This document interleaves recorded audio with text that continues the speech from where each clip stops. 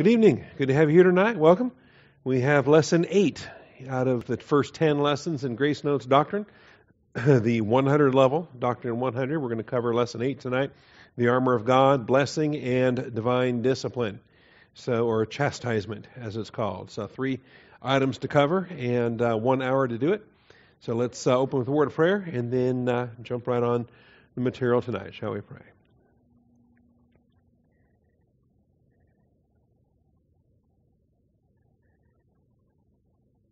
Heavenly Father, we thank you for the truth of your word and the blessing we have tonight to review what we have studied. Father, to get our questions answered, to explore deeper uh, realms that uh, perhaps we want to learn more about. But Father, we uh, commit to you our time tonight, and we thank you for being faithful. We thank you in Christ's name. Amen. All right. Did you do the lesson? Yes. I haven't seen the quiz yet. I saw your quiz. All right. Did you not do the lesson? You're hoping to get the class tonight to get the quiz question answers. Okay, I got that. All right. Well, armor of God. Where's the armor of God found? Ephesians. Ephesians what? Ephesians 6. All right, the armor of God. I got the microphone up here, actually, from this morning. Will we not need it?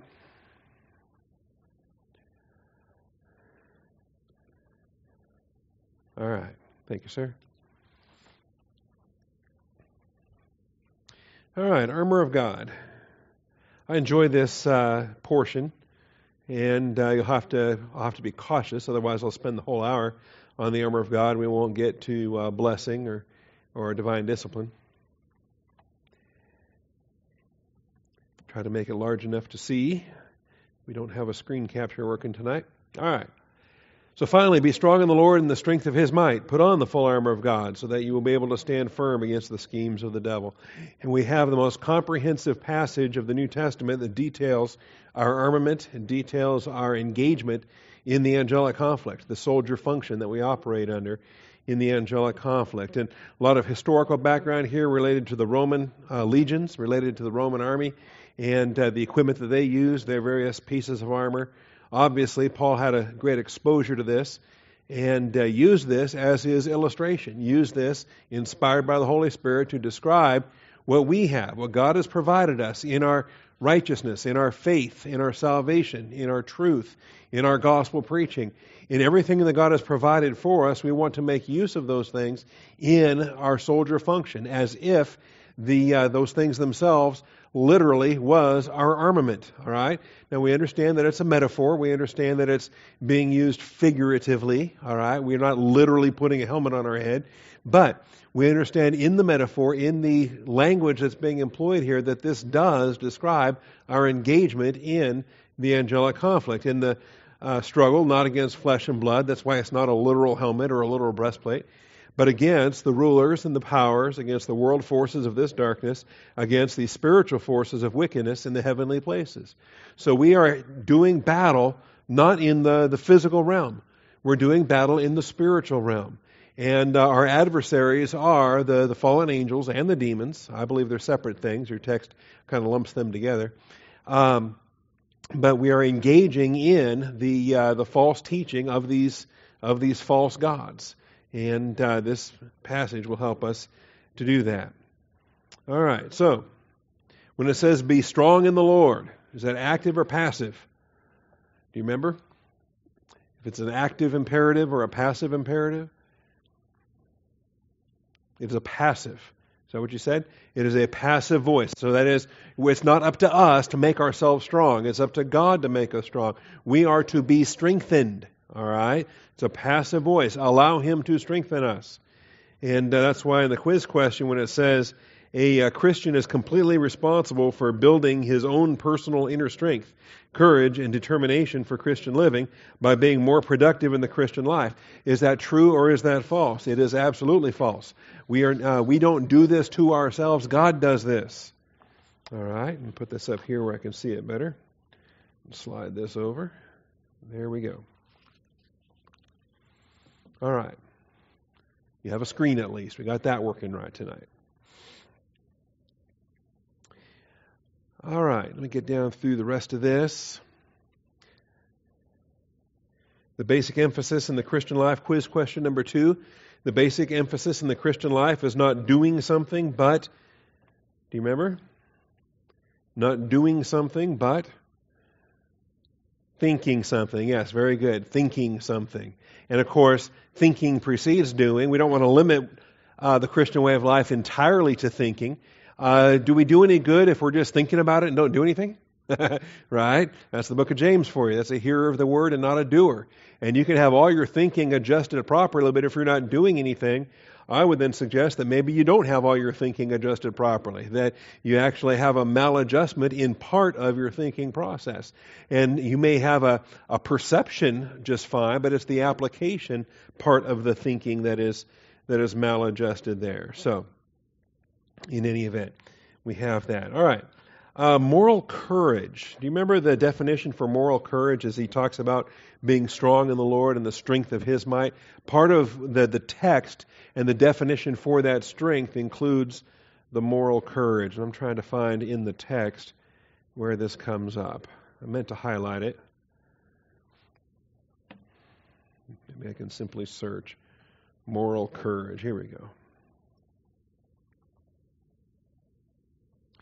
Be strong from the present passive imperative of endunamao, a reference to inner strength or moral courage. When the scripture tells us to be strong, when the scripture describes men that are strong in the faith or believers that are strong in the faith, or think about the description of Apollos, he was powerful in the scriptures.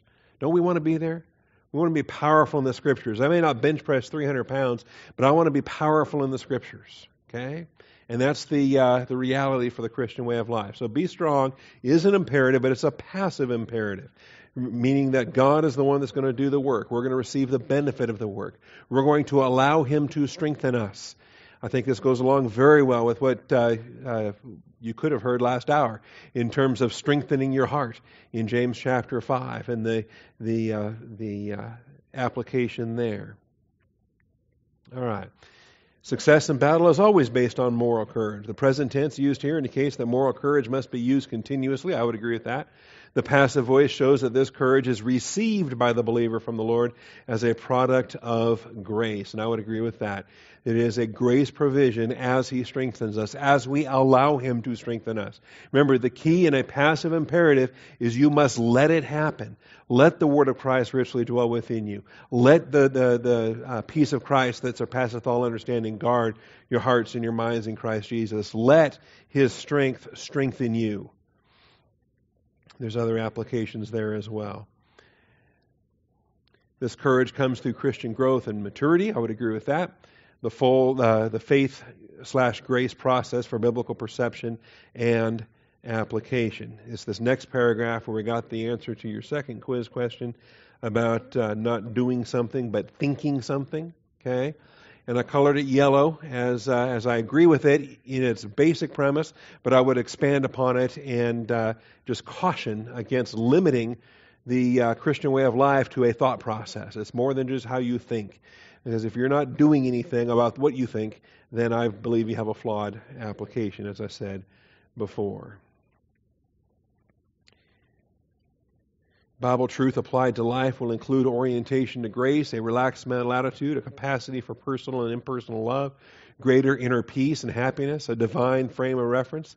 These are all ingredients of moral courage again, I would, I would tend to agree with the statements here in this paragraph that these are part of what happens when you are transformed by the renewing of your mind. This is a part of what's molding us into the image of Christ.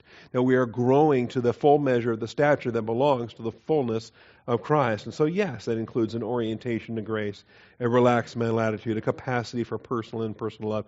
But you realize those are theological expressions that are coming as a synthesis of the New Testament. It's not actually an exposition of, uh, of Ephesians 6.10. There's an awful lot that's being poured into be strong in the Lord and in the strength of his might. Okay? And I don't dispute any of it. I think it's valid, but you have to build that case from other passages of Scripture. In other words, other passages of Scripture that speak about our grace orientation. And then ask yourself, can we correlate that to an imperative of be strong? And I think that's a legitimate exercise. And we say, well, does, does strength equal orientation to grace? Does strength equal a relaxed mental attitude? Does it equal a capacity for personal and impersonal love and so forth? All right? Am I making sense tonight? Everything in that paragraph I don't dispute, but I believe you've got to do a lot more work to, to see it in Ephesians 6.10 because Ephesians 6:10 is a pretty short verse in Greek or English or anything else. Be strong in the Lord and the strength of his might. It's not a verse that has orientation to grace, relaxed mental attitude, capacity for personal and personal love. You see what I'm talking about? And so we're comparing scripture to scripture. We're putting these concepts together. And I think it's valid.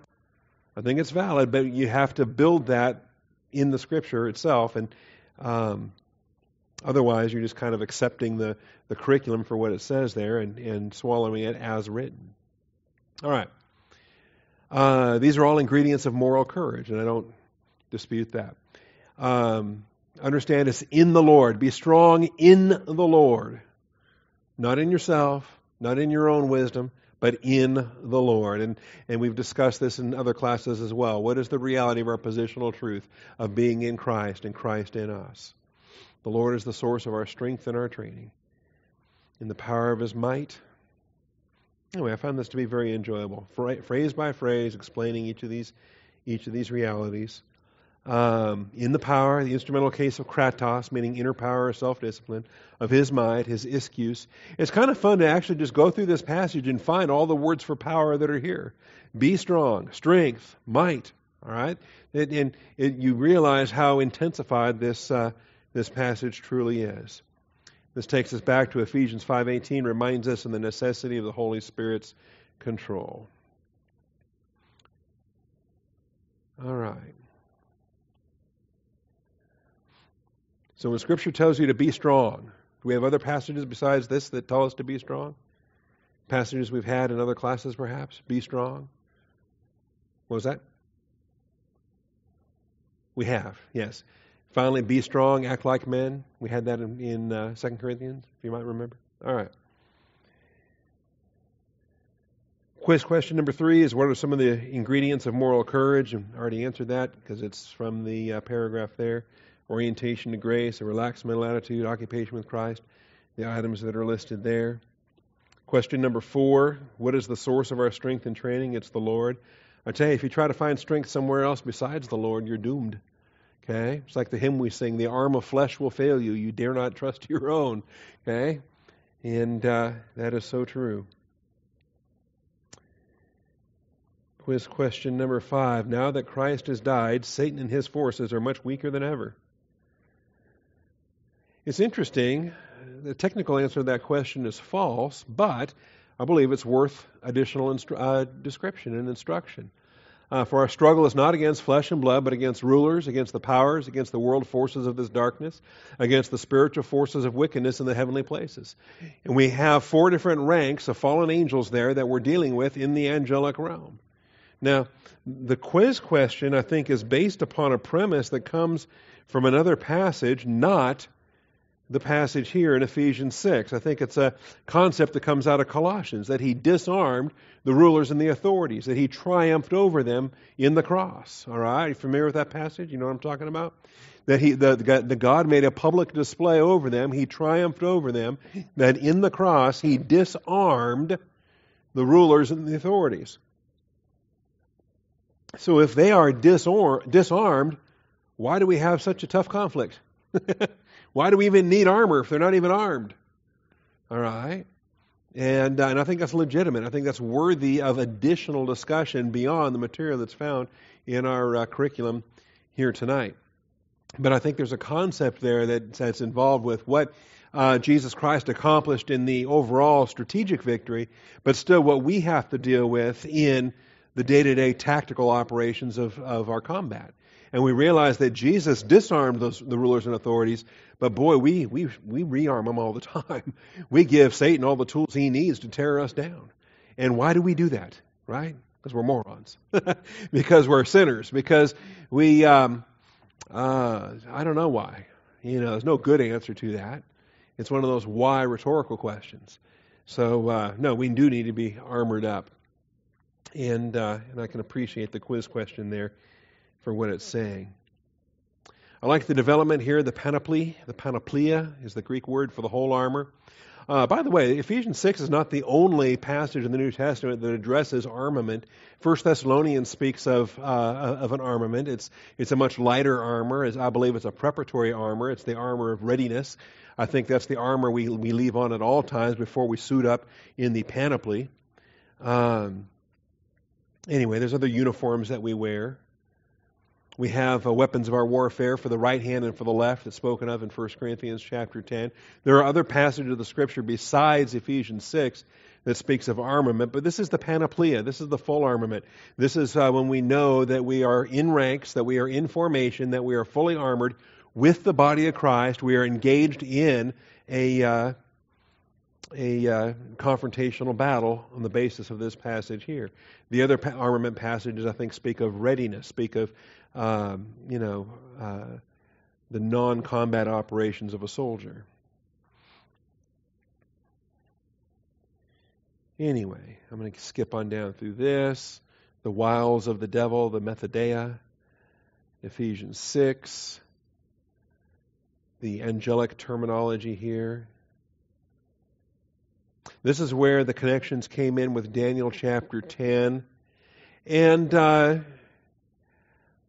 you know, it's interesting because in Daniel chapter 10, we've got Hebrew vocabulary. um, we get into Ephesians and we have Greek vocabulary. And so, where do we connect the Prince of Persia and the Prince of Greece? Uh, I accept that it's valid. I accept that it's that they represent fallen angels, and that represent satanic power behind the human throne.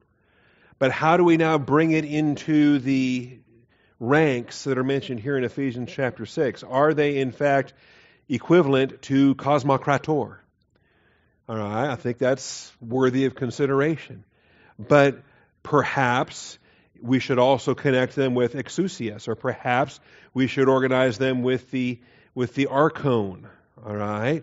Um, I, I, don't know that we can absolutely lock in the the prince from Ephesians from uh, Daniel 10 to the cosmocrator of, uh, of Ephesians 6. Um, Anyway, may be worthy of consideration to evaluate that. Um, and if you were with us in the Daniel series or with us in the angelology series, then that should have been very familiar with you as well. We're not talking about the human being; we're talking about the angels in that uh, in that chapter. So, uh, in question number six, then, Prince of Persia is referred to A, a demon, B, the King Darius, C, Daniel, or D, the Greek general Alexander. It's A, and I would prefer to, rather than calling it a demon, I would prefer to call it a fallen angel. Because I do make distinctions between fallen angels and demons. Not every pastor does, but I do. Any questions on that? All right. Piece by piece, then, in the armament, the belt is the belt of truth. Question number seven focuses on the truth, the aletheia. This is the belt of aletheia. And uh, Obviously, the truth is the Word of God. It's the truth that sustains us. It's the truth that uh, Second Peter talks about. That is, all things necessary for life and godliness. There is nothing that we need to engage in the angelic conflict that we're not going to find written in the canon of Scripture. That we're not going to find provided for us through the revealed Word of God. I believe in the sufficiency of Scripture. That it's all we need. It is abundant for everything we need in the Christian walk.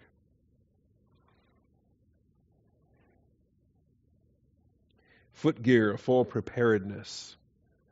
Foot gear, a full preparedness. You ever think about that? Why are shoes so important? Why are boots so important to a foot soldier, okay, to an infantryman, to a legionary from the ancient Romans, to the modern soldiers of today? Foot gear is critical, and uh, you know, bad feet, damaged feet, uh, trench foot, any of the things that happen if your feet get wet, if you're not changing your socks. You know, soldiers sweat, and if if you're in Iraq or Afghanistan or wherever you are, and uh, you never change your socks, and day after day after day you're wearing the same sweaty, nasty socks, uh, you're gonna you're gonna have some horrible feet conditions very quickly, and then you're useless in uh, in uh, any kind of combat operations.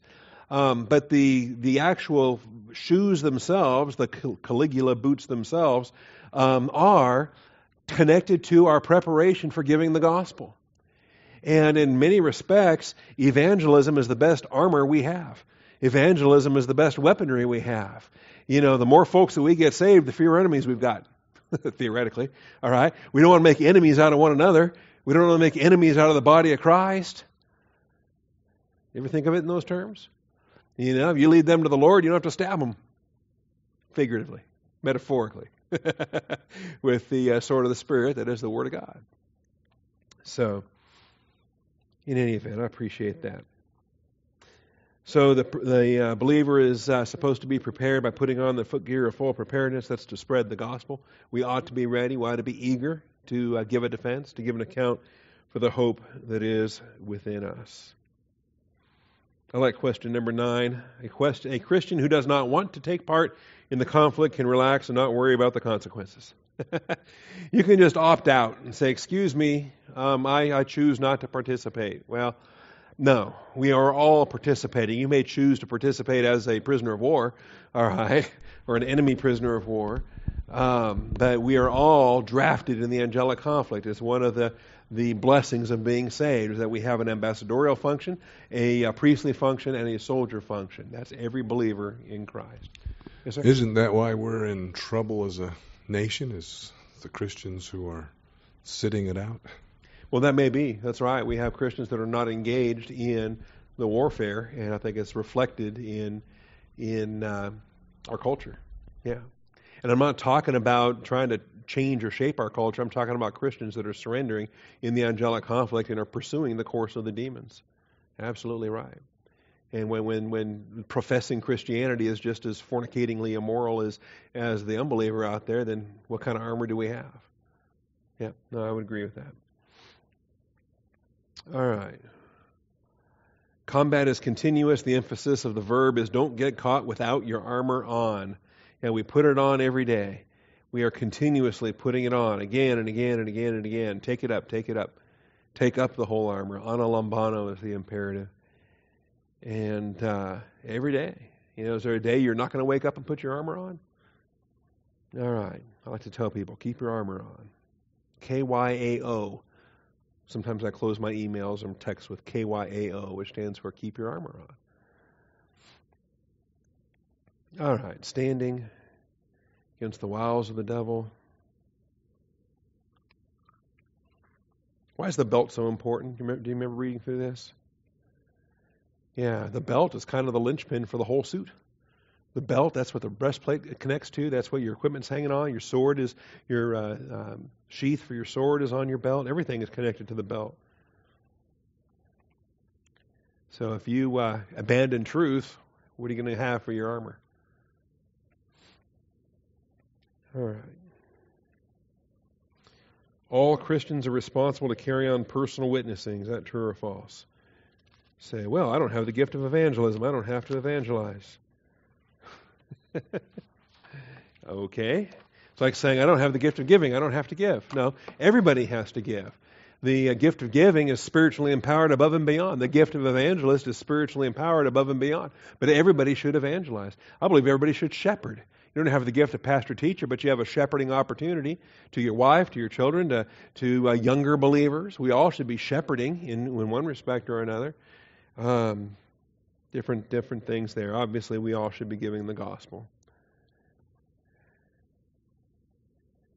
Witness with your life, witness with your lips. Who was it that said, uh, always give the gospel, and if you have to, use words? It's a kind of a famous quote. That, do you remember who said that? Yeah, it might have been Francis of Assisi. Okay. Anyway, to me, I, I agree with you. I, I seldom use that expression because I think some people uh, use that as the cop out that, well, I'm going to just witness with my life and never say anything. No, where we should say something. When that door is open unto you, be ready, be eager to give an account, and that's a verbal account. The soul of a believer is protected by.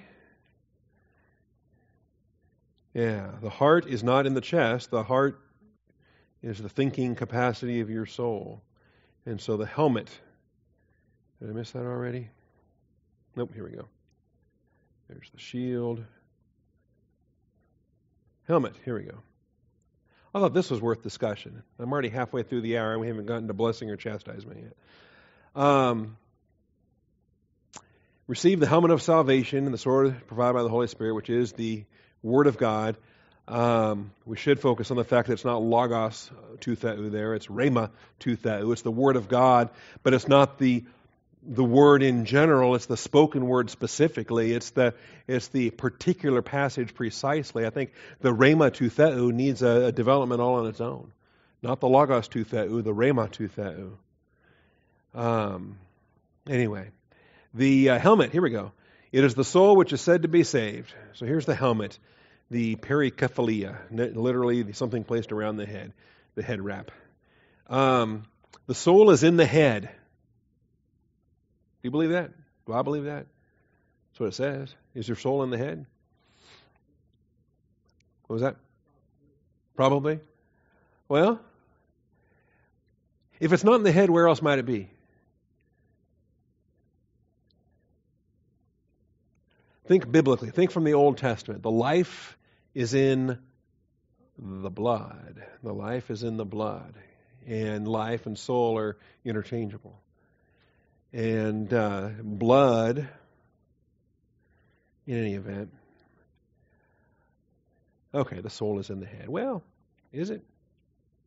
If you chop off your head, do you lose your soul? I don't know. Uh, the soul goes to heaven, your head goes in the grave with the rest of your cadaver. But um, yeah, I just thought that was interesting. I hadn't thought about that. But okay, the helmet of salvation. Mentality, volition, self conscious, emotion. Um, those are thinking, those are moral, those are uh, intellectual, those are uh, rational faculties. So I get the idea why we would associate. Some of this maybe is a philosophical thing, as we, if you want to discuss the mind-body problem, or you want to discuss uh, the the connection between the brain and the mind, and uh, discuss it, you know, on, on a philosophical basis or a medical basis. Um, anyway, maybe I'm making a big deal out of something I shouldn't make a big deal of, but. Um, I just thought it was interesting. I will tell you this, though. I reject the sin nature uh, being a component of the soul.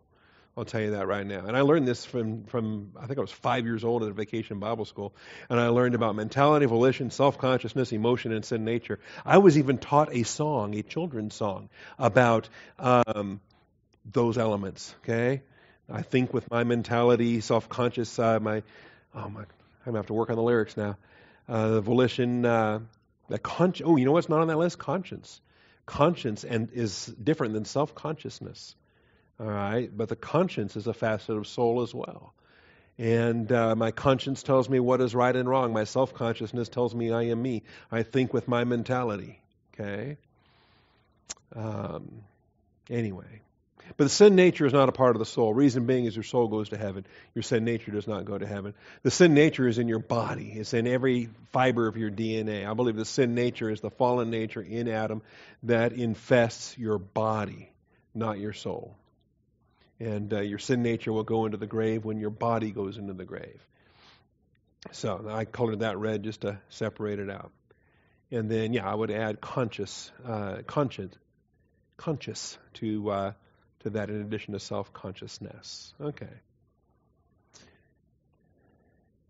Anyway, that jumped out at me. Great reference there to uh, Vegetius, I think, or Vegetius. I don't know how he pronounced it. Vegetius, I guess. I'm having a terrible time pronouncing tonight. Um, anyway, great translation there about why they didn't swing their swords, why they thrust their swords. And um, anyway, Great quote there. The Romans made jest of those who fought with the edge of a weapon. They felt it was the puncture that would kill, not the, not the slash. What's that? All right. Okay. Really, without a microphone, I'm not going to hear anybody sitting in this room. So, uh, all right. Keep in mind, the architect who designed this room designed all the acoustics to go that way. all right? And so uh, Molly's up here playing the piano. She can't hear anything coming through those speakers up there. And it's kind of a, an that's why we put this little tiny little speaker over here, this monitor by the piano so you can hear what you're playing. All right, are we still dealing with uh, armaments? Any task can be done as unto the Lord. I would agree with that. All right.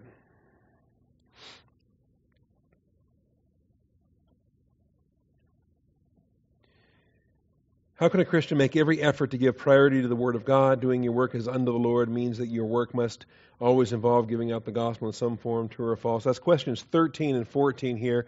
Kind of had a side trip out of Ephesians chapter 6 and moved over to 2 Timothy chapter 2. But this, I think, is the uh, application with the Word of God. But I think it's slightly flawed because I would prefer, actually, if I was doing a development of Ephesians chapter 6, to emphasize the Rhema to Theou in Ephesians 6, not so much the, uh, the, uh, the Logos. But that's all right.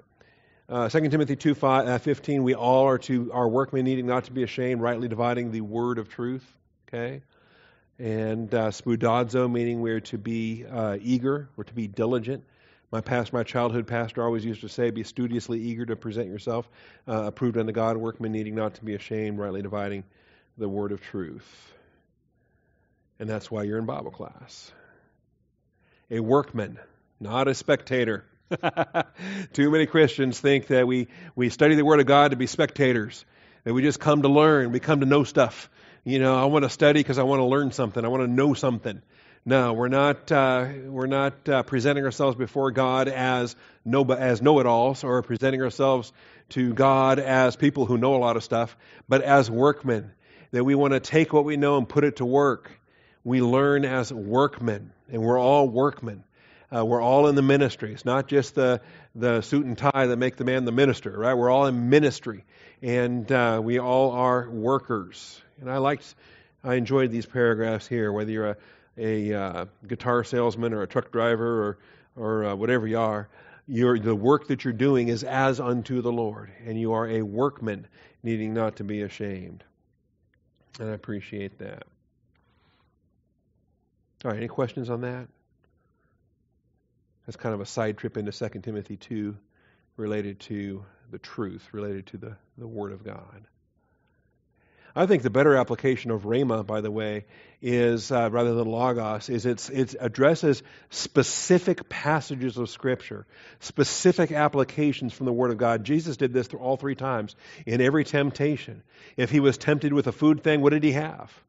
He had a Bible verse that applied, "Man shall not live by bread alone." Okay? He didn't just pick a verse out of somewhere that didn't apply. He didn't just grab, you know, Jesus wept. That didn't apply. grab a passage that applies. Have the Word of God ready so that you have a specific and precise application ready to go. If, uh, if it's a temptation for stealing something, well, then you have thou shalt not steal. If it's, uh, you know, another struggle with maybe uh, uh not sure where provision is going to come from, you have the Lord will provide or uh, the battle is the Lord's, or whatever it is. Get an assortment of scriptures that you've memorized, that you believe, that you trust, that you live, and make those your rhema.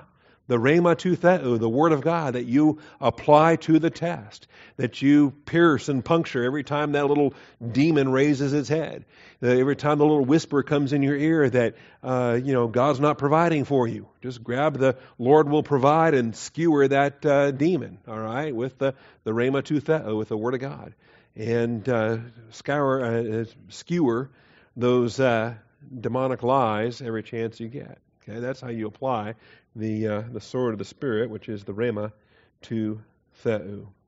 All right, blessing. Blessing. Blessed be the God and Father of our Lord Jesus Christ, who has blessed us with all spiritual blessings. And so here's a great passage in Ephesians 1 3 that has blessed and blessed and blessing. And uh, a good application here.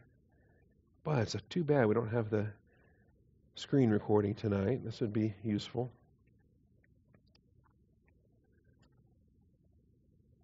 Nope. I don't have a mouse either. But I'm not complaining because the Lord will provide. All right. Let's just go with that. Eulogetos, eulogeo, and eulogia. And so we've got blessed and bless and blessing. And uh, the fundamental concept here is to say a good thing. Like, think eulogy. There are three New Testament Greek words. Uh, we got eulogetos, eulogeo, eulogia, and then beyond that, there are the makarios terms, okay? The, the terms for happiness that are found in the, in the uh, Beatitudes of Matthew chapter 5. All right, but the idea of a eulogy. You're saying a nice thing about somebody. You're standing up to give a eulogy in a funeral.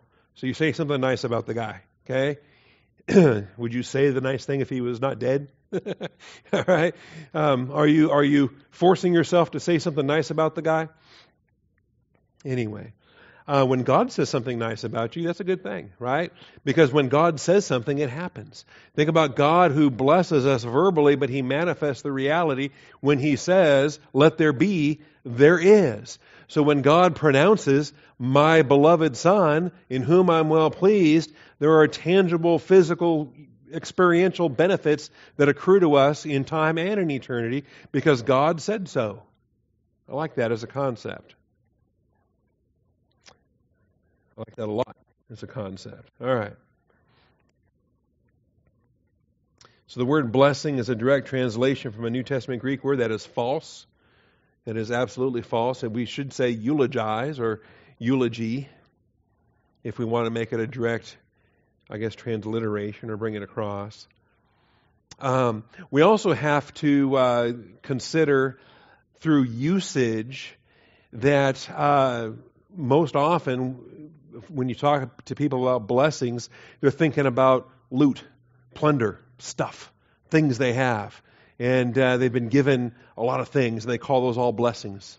Okay?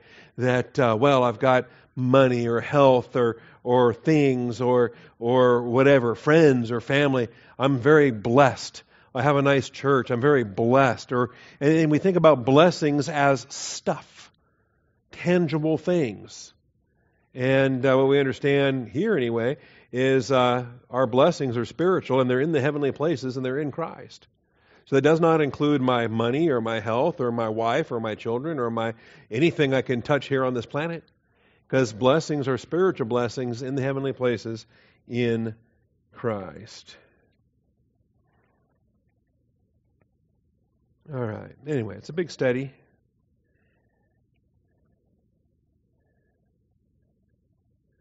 The idea of a blessing uh, in terms of the sons trying to receive blessings from their father, blessings if we are to say a blessing upon a person. Of course, the opposite of blessing is cursing. It's the same tongue that'll do both. The tongue can bless and the tongue can curse. We want to say a blessing. We want to bless one another. We want to bless God.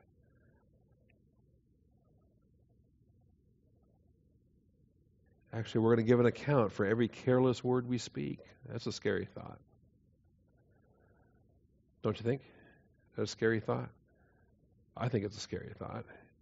Showers of blessing. We sang that hymn this morning. All right. Your quiz questions on blessing. I already answered the quiz question 15. It's false. It's not a direct translation. Uh, blessing comes from a mental attitude of what and what? Mental attitude of love and appreciation. See, a lot of, I think a lot of the issue, though, comes with respect to our capacity to identify God's blessings. That, that's maybe bigger than anything else, is identifying what God is blessing. Dan brought it up last hour as well. We ask God to bless what we're doing instead of doing what God's blessing. I think the, the capacity, we want to have the capacity to identify the heavenly blessings in Christ, the, the spiritual blessings that we have in the heavenly places in Christ. Those are our blessings. Other stuff that may happen in time, I think, is just special blessings, extra icing on the cake, if you will. Colonel Thieme called it special blessings in time. But um, I'm still looking. Cliff and I have a little side project we're working on right now, Pastor Cliff and I, trying to find a New Testament usage, okay? Not an Old Testament usage. You can you can point to, you know, Abraham and his gold and his sheep and his flocks and his wealth and blah blah blah. But a New Testament usage that connects blessings, eulogia, blessings, with um, tangible stuff on this earth. Okay? And I'm still looking. Let's see if I can find it. Anyway. Uh, but love and appreciation is uh, it's attitudinal, and I would agree with that. It's attitudinal to identify His blessings. God is able to bless a Christian as soon as that person makes up his mind to give everything to the Lord. Uh, yeah, see, we got that's a false prosperity gospel approach. That well, if I just if I give, then God will bless me, and uh, the mechanical legalism of of uh, God showering His blessings because I've I've given. Even blessings are a grace provision. We want to understand that we operate in grace, we we function in grace, we receive grace. Even as blessings, they're grace blessings. God's blessing does not depend upon a believer's thoughts or actions. Truly, as a grace application, that is significant. All right. And then chastisement. Your last two questions are on chastisement, plus the essay question is on chastisement or divine discipline. When God disciplines, when He chastises a Christian, his objective is, before I move on to chastisement, any questions on blessing? Thoughts on blessing? Comments on blessing? You want to shake your fist and tell me I'm wrong? Blessings uh, are tangible. you want to, uh, if we can get into a knockdown, drag out fight here tonight? And say, well, I, uh, I love my children. My children are a blessing. We have been blessed with every spiritual blessing in the heavenly places in Christ. I think that the privilege you've had to train up those children in the nurture and admonition of the Lord is a blessing. And the fellowship you may have with adult sons and daughters that can have the capacity to identify with the will of God, with the Word of God, the fellowship you have is a blessing. See, you see what I'm taking? But the, the physical existence of, of making babies, wait a minute, okay? Maybe I'm painting with too fine a brush at this point. Say, well, my Mustang is a blessing, or whatever, okay? Um, don't get me wrong, I'm not complaining about what he's provided, but understand when he does provide, with the capacity that he does provide, in terms of wealth, in terms of health, in terms of prosperity or adversity or whatever else. The circumstances and conditions He places us under become the field of testing. All right, are we going to stay faithful? Are we going to stay faithful at this income level, at this income level, at this income level, at this income level? At what tax bracket do you abandon the Word of God and just give up on God and become a, a, a lover of this world? say? When do you blow it in the in the prosperity test? I believe every every uh, you know within the proportion of what He has provided, it's not a blessing; it's an assignment. It's a test. There's a purpose for why He's given that. So stay tuned. At some point, Cliff and I will quit our musing and actually present a uh, a uh, completed study on that. All right, divine discipline then. We've got 13 minutes for divine discipline. Does God punish us because he's mad? Is it an emotional thing with God? And, and, neither should it be with us when we discipline our children, or when we discipline a, a church member or any kind of discipline. It's not supposed to be in anger, and it's not supposed to be punitive, and it's not supposed to be destructive. The goal is repentance. The goal is correction. The goal is to restore a brother. And uh, the purpose for discipline is to restore. And uh, something else I heard last hour in the, uh, the book of James it is restorative. So, his uh, question number 18 his objective is to restore that person to fellowship. The whole point of discipline is to win your brother. And that's why you take it in stages in the outline of Matthew 18. That's why you approach him, first of all, one on one. And if he listens to you, you've won your brother. And you don't go to step two or three or four. You stop with whatever step it is that achieves the objective. Suffering is always removed as soon as a Christian confesses his sin. Boy, that would be easy confessionism, wouldn't it? Just get back in fellowship and all your suffering is immediately over. No. In many cases, we face the consequences of our carnality for months and years later, for the rest of our life sometimes. There's carnality that Sometimes, uh, you know, the consequences that go with it. Lifelong in, in some respects. Now, here's the, here's the key, though. When you confess your sin, and he forgive, he's faithful and just to forgive us our sins and to cleanse us from all unrighteousness. The consequences may not go away and the suffering may not go away, but you're now in fellowship with a divine viewpoint perspective to where you can view the chastisement you're under in a positive way. You can view it as a blessing. You can view it as a growth opportunity. You can view it as an object lesson. You view it as a benefit for the Father who makes it as unpleasant as it is. He does that in love, training us to not want to do that again. All right? And you realize, hmm, that's no fun. I don't want to do that again because the next time it'll be worse. I reached a certain point in my life, in my ill spent youth, where I, I didn't want to know what the next step was going to be because I was sick and tired of what the current step was all about. I was kind of afraid of what the next step might be. That's the benefit to his divine discipline. So no, it does not mean go away. David faced those consequences for the rest of his life. It it actually affected his children and their generation because of the consequences of his uh, of his sin. All right, then for your essay question, it says explain how a Christian can avoid chastisement. Can you avoid divine discipline? And then uh, also explain how a Christian is restored to fellowship after a period of carnality. And I think what's interesting is this recovery process. The restoration of fellowship is instantaneous. The forgiveness is, is absolute. But the recovery time in order to rebuild and to grow, I believe that is a, a long process to occupy with Christ, to live in the Word. I think that there's a season Boy, this gets into a lot of other things too. National chastisement. There weren't any quiz questions on that, but your text had some applications there. Let's just keep it on a personal basis now. To uh, recover from carnality, to recover from prolonged carnality, to recover from serious soul damage that has been done in the meantime because of the prolonged darkness. Does that just all go away as soon as you 1 John 1 9 and get back right with the Lord? No. There's actually some training that has gone on that needs to be untrained, things that need to be unlearned, thought processes that need to be renewed.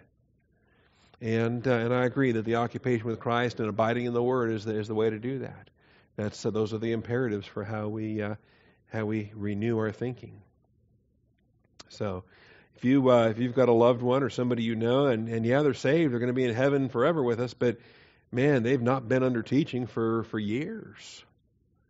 It's, it shouldn't shock you that they're just as worldly as the unbeliever. They've got all the attitudes, the philosophies, the thought processes, uh, on a on a thinking basis, on a practical lifestyle.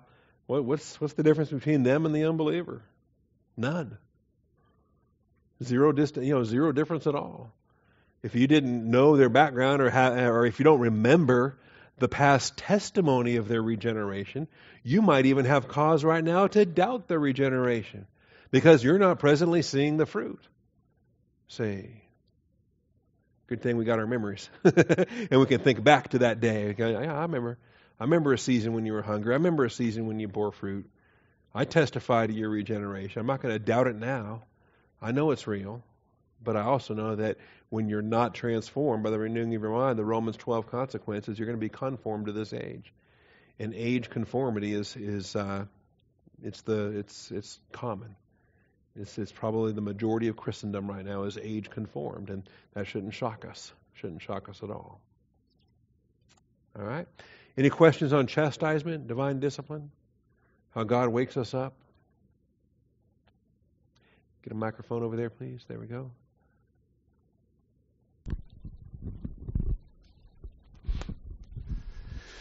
Um, my my mind is thinking about the word discipline, and not in a spiritual sense, but I'm confused a little bit about it. For mm-hmm. example, uh, as a coach, I used to discipline the uh, basketball players con- in a conditioning way. It was a good mm-hmm. thing. Uh, a runner needs to have the discipline to get up early and and run.